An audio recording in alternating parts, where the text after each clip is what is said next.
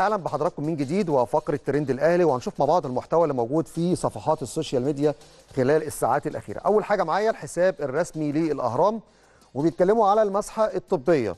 الحساب الرسمي للأهرام على تويتر نشر إن الأهلي يعلن سلبية المسحة الطبية لعبد القادر وكوكا وياسر إبراهيم. بصوا يا جماعة قبل ما ادخل في التفاصيل كل يوم بتتعمل مسحة زي ما كنت بشرح من شوية وإحنا بنتكلم على أخبار الأهلي. لكن مهم جدا المسحة لما بتتعمل بيعدي يوم أو 48 ساعة وبتعمل مسحة طبية تانية عشان تطمئن وتشوف الحالة سلبية ولا إيجابية. الحمد لله النهارده كان المسحة لعبد القادر وأحمد نبيل كوكا وياسر إبراهيم سلبية. بكرة هيكون في فحوصات طبية ليهم قبل ما ينزلوا المران.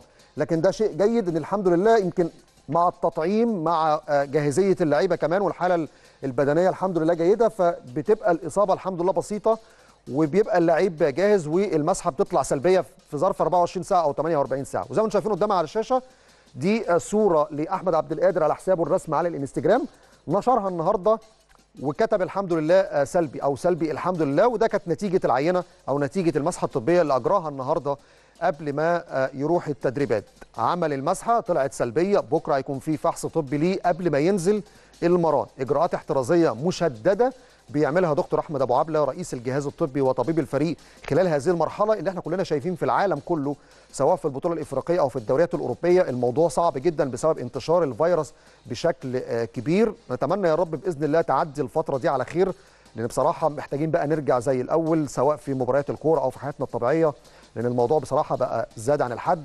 وفقدنا ناس غالية علينا جدا خلال الفترة الأخيرة وإن شاء الله اللي جاي بإذن الله هيكون أفضل وما نفقدش حد تاني وإن شاء الله بإذن الله تعدي الغمة دي على خير. نروح نشوف كمان إيه اللي معانا في ترند الأهلي والوطن سبورت بيتكلموا عن فتره انتقالات وتعاقدات بس بقى لعيب من عن الأهلي هيطلع إعارة الفترة اللي جاية. الوطن سبورت بيقولوا موسيماني يفاجئ طاهر محمد طاهر بالقرار الأخير لرحيله عن الأهلي. هم بيقولوا إن في على حسب عهدة الوطن سبورت. إن مصدر في الأهلي قال إن النادي تلقى عروض رسمية من عدد من أندية الدوري لاستعارة طاهر محمد طاهر لمدة ست شهور خلال الفترة المتبقية من عمر منافسات الدوري العام. لكن موسيماني رفض بشكل نهائي التفريط في خدمات اللاعب وقال إن هو عايز طاهر محمد طاهر خلال الفترة اللي جاية لأنه هيدفع بيه في المباريات اللي جاية طبقا للرؤية الفنية. أنا عايز اكد لكم فكرة إن اللعيبة اللي تطلع إعارة الفترة الحالية فكرة غير واردة على الإطلاق لا من بيتسو موسيماني ولا من لجنة التخطيط ولا من الإدارة لأن أنت لسه مقبل على منافسات قوية جدا وما تنسوش إن في قائمه بتتحضر الفترة الجاية يوم 3 فبراير عشان كأس العالم للأندية.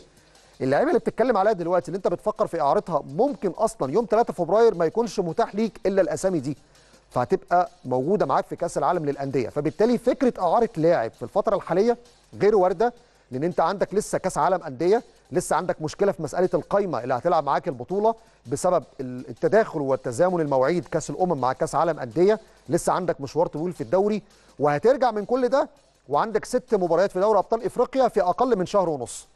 فالناس بس يعني تبص على الأجندة قبل ما تفكر في مسألة مين طالع أعارة مين بيتسو مش عايزه. لسه الكلام كتير قوي خلال الفترة اللي جاية أو لسه المباريات كتيرة الفترة اللي جاية.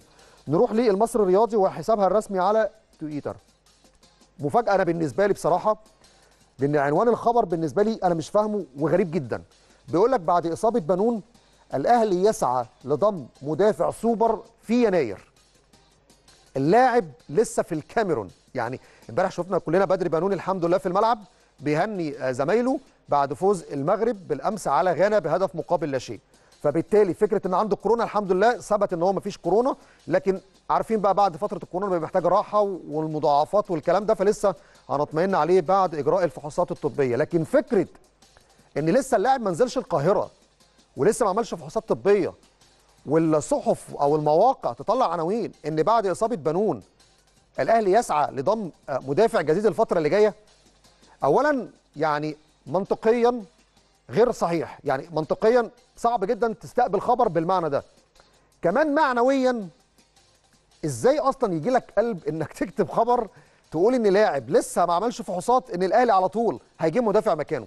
اللاعب لما يقرأ خبر زي ده وهو لسه ما نزلش القاهرة الأثر بتاعه إيه؟ وبعدين اللي كتب الخبر هو عرف أصلا الفحوصات الطبية اللي هيعملها لسه بدري بنون. أسفرت عن إيه؟ عشان على طول خد القرار قبل الأهلي ما يعمل الفحوصات وياخد القرار. في أخبار بكده بحس إن هي يعني مش معمولة يعني مش للمصداقية مع الناس أو إن هو يكتب خبر من أجل آه، اجتهاد معين. لا بحس إن الخبر كده ليه أهداف تانية وللأسف ما بتبقاش أهداف كويسة. الأخبار اللي زي دي أنا من نوعية الناس اللي ما بحبش الأخبار اللي زي دي ولا حتى القارئ ولا المشاهد ولا المستمع لأن الأخبار دي مش رايحة في أمر فني رايحة في أمر له علاقة بالأمور الطبية وما بتبقاش كويسة ومهنيا كمان ما بتبقاش مقبولة. نروح لآخر حاجة معايا في ترند الأهلي. وبوابة الأهرام بتتكلم على رؤية فنية في مسألة إن الأهلي بيقترب من ضم مدافع البنك الاهلي خلال الفترة اللي جاية. لكن هنا الأهرام بيتكلموا على فكرة إن الأهلي أصلا خلال الفترة الأخيرة كان بيحاول يسعى لضم مدافع جديد في الفترة اللي جاية. لكن في سياق الخبر ما جابوش سيرة بقى أصل بدر بنون مصاب فالأهلي بيفكر في ضم مدافع الفترة الجاية. لا بيتكلموا على إن في أصلا تفكير من قبل انتقالات يناير إن في تدعيم لهذا المركز في الفترة اللي جاية. لكن عموما النادي الأهلي لم يعلن أي شيء ومفاوضات الأهلي مع مدافع البنك الأهلي اللي هو أحمد ياسين حتى هذه اللحظة غير مؤكدة والنادي الأهلي لم يعلن أي شيء واللاعب نفسه ونادي البنك الأهلي لم يؤكد صحة هذه الأخبار. ده كانت أخبار الخاصه بترند الأهلي وآخر المستجدات داخل الأهلي قبل مباريات كأس الرابطة. أخرج إلى فاصل. وبعد الفاصل نرجع مع بعض ونشوف بقى ترند أمم إفريقيا ونشوف الاستعدادات لمباراة نيجيريا بعد أقل من حوالي نصف ساعة مباراة مهمة جدا الفراعنة أمام النسور النيجيريه